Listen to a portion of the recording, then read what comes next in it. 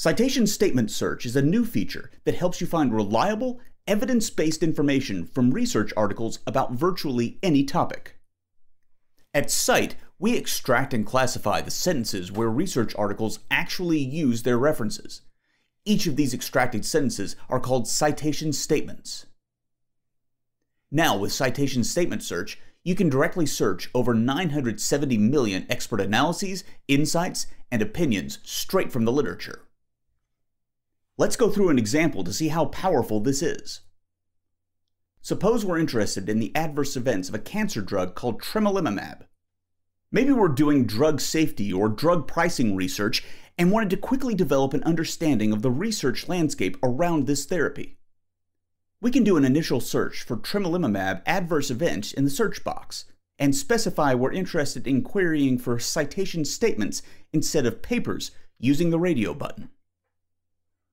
The results then show us statements matching our keywords. We can see in this case there are 486 statements that may be relevant. By skimming these statements, we see a number of potentially relevant statements from papers that describe adverse events from this drug, either by communicating results in papers they reference or from their own studies. We can apply a sort for statements from the newer publications to surface newer information first. Let's take a look at one of these results.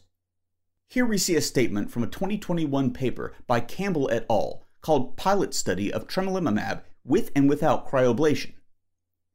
The authors report in the discussion section of their paper that they saw immune mediated toxicities with grade 3 or greater events in 55% of patients treated with tremelimumab, both with and without cryoablation.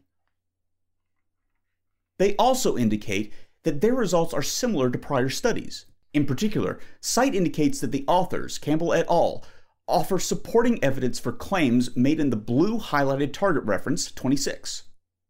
Not only are we able to quickly build a qualitative understanding of a topic, we're also able to see what publications might be worth digging into. Suppose we were curious which authors were publishing in this space we can select the authors dropdown in the filters list and see the top 10 authors who show up in these results.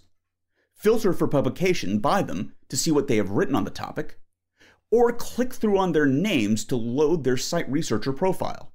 Now, if we are a bit more familiar with this space, we might say that we're only interested in publications about this topic that were from the institution Memorial Sloan Kettering Cancer Center, a renowned cancer treatment institute.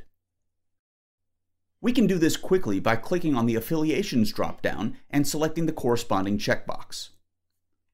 Citation statements are a key part of scientific communication, and by querying them directly, we're able to find relevant information, or better distinguish the signal from the noise and discover papers worth reading.